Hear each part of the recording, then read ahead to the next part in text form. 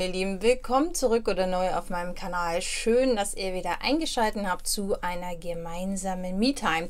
Die Goodie-Box ist da, die wollen wir öffnen und wenn euch das interessiert, dann wie immer schnappt den Kaffee, den Keks, was auch immer dir gut tut und nach einem kurzen Intro sehen wir uns dann wieder.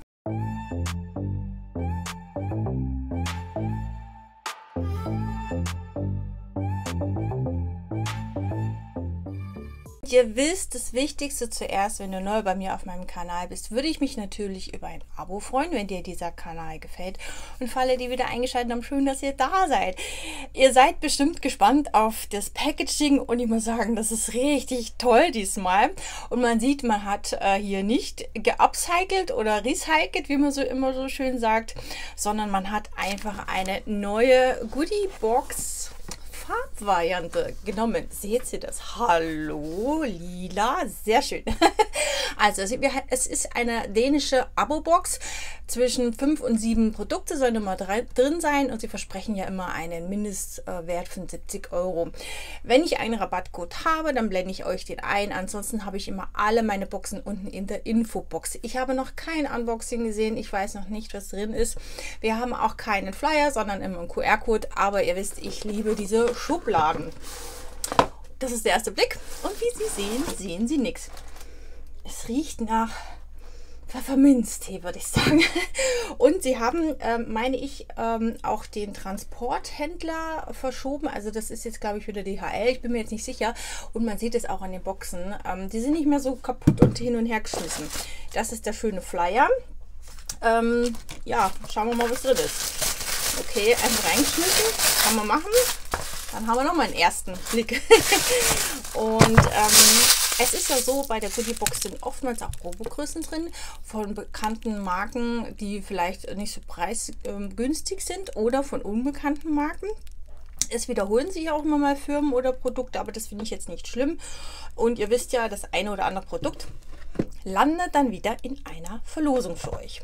Und das erste ist ähm, ein Micellenwasser, das finde ich sehr interessant und auch das Packaging finde ich sehr schön von der Firma Comdö äh, aus Kopenhagen, vegan parfümfrei äh, und wir haben 150 ml.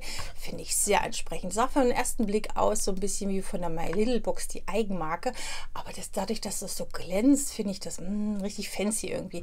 Mit Zellenwasser nimmst du ja einfach zur Reinigung vom Gesicht also ich mache meistens erst den Schmor darunter, dann nehme ich nochmal Micellenwasser und tue dann mehr oder weniger meine Routine des Tages zum Abschminken einfach weitermachen und sowas finde ich sehr schön. Von der Firma Comdu hatte ich tatsächlich noch kein Abschmink- oder Micellenwasser, deswegen bin ich da schon sehr gespannt. Dann haben wir wieder ein Produkt, was leider nicht so ganz meinem Geschmack entspricht, aber wahrscheinlich ähm, den einen oder anderen von euch. Und zwar von der Firma äh, WADA. Luxury Skincare, ähm, eine Food Cream. 100 ml äh, Deeply Hydrated, also wahrscheinlich für richtig trockene Füße. Steht da was auf Deutsch? Anwendung, drücken Sie eine kleine Menge der Creme in die Hände, massieren Sie sanft in die Füße ein. Ja, okay. Ähm, ich könnte es tatsächlich für meinen Mann mal lassen, aber der ist da auch so nachlässig wie ich. Ich hasse Füße eincremen. Ich hasse aber generell eincremen. Deswegen wird das mal in einer Verlosungsbox für euch landen. Ist auf jeden Fall eine Größe, wo man mal ausprobieren kann. Und sage jetzt mal auch Packaging würde mich jetzt ansprechen. Ich sehe nämlich schon ganz tolle Sachen da drin. Von der Firma Hügens. Ähm, Tent Eclat Mask. Okay. Brightening Puffering Mask, okay, äh, äh, wir haben 50 ml drin, also eine Gesichtsmaske. Ja, Hügens mag ich eigentlich auch ganz gern, aber ich habe tatsächlich noch so viel auf, ich weiß noch nicht. Vielleicht geht das auch weiter. Mal gucken, ich bin da äh, heute so ein bisschen unschlüssig. Ich habe nämlich so viele Pakete zum Unboxen, Video abdrehen. Ähm, bin momentan so ein bisschen gesättigt von den Boxen, aber das ist nicht schlimm. Das ist auch den Adventskalender-Unboxings geschuldet, aber ansprechen würde mich das schon. Und auch Firma Hügens mag ich sehr gerne. Und wir haben von Moshi Moshi Mind Badebombe 3x20 Gramm. Ähm, 100% natural äh, mit Zitronen. Peel steht, also hier steht jetzt Lemon Peel. Ich denke, das wird wahrscheinlich ein bisschen ja, zitronig riechen. Das war auch der Geruch, ähm, finde ich sehr süß gestaltet, weil von Moshi Moshi Mind habe ich äh, momentan tatsächlich nur eine Pinzette, die finde ich sehr süß. Viele Produkte waren jetzt nicht so, dass ich sage, ja, super, aber das finde ich auch eine schöne Geschenkidee. Also das Packaging spricht mich total an. Und dann haben wir ähm, ein Parfum, das heißt Fernway 10 ml Sentia. Okay, gut, sagt mir auch gar nichts. Sprühen wir mal, gucken wir mal. Ein bisschen herb. Aber ich muss euch ganz ehrlich sagen, ich liebe diese Verpackung. Ich habe diese Verpackung immer in der Handtasche und ich finde das so toll. Die kannst du immer reinstopfen und da, da gucke ich auch mal gar nicht, was das für ein Duft ist. Diese Sachen sind immer in meiner Handtasche und ich mag das einfach. 10 ml ist schon, sag jetzt mal, damit kann man ein bisschen testen. Wenn ich das Bild finde dazu, dann werde ich es nach euch natürlich einblenden. Genau bei den anderen Sachen auch, wenn ich Preise habe oder Bilder, was ihr denn tun oder nicht tun soll, blende ich es euch ein. Sehr frisch. Ja, also für den Übergang von Herbst. Ähm, aber ich mag dieses Packaging eigentlich total. Also wir haben ein Parfum. Oh, das ist schon ein Parfum. Ne? Das ist nämlich so klein geschrieben, dass ich das gar nicht lesen kann nicht in die Augen sprühen.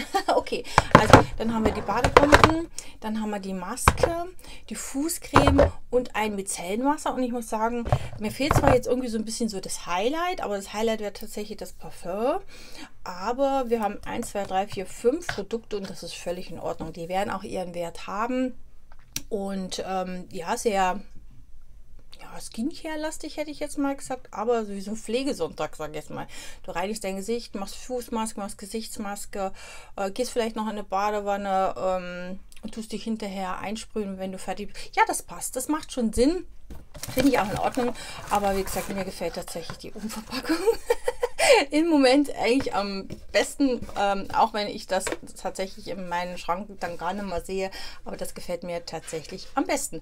Ich freue mich auf jeden Fall, dass ich sie habe unboxen können für euch. Also ich habe sie selber gekauft und freue mich dann auf die nächste Box. Wir gehen ja stark Richtung Weihnachten. Meistens sind ja die Weihnachtsboxen nicht so prickelnd, aber schauen wir mal, ähm, was da die Monate demnächst auf uns zukommt. Und da hoffe ich natürlich, dass ihr auch wieder dabei seid.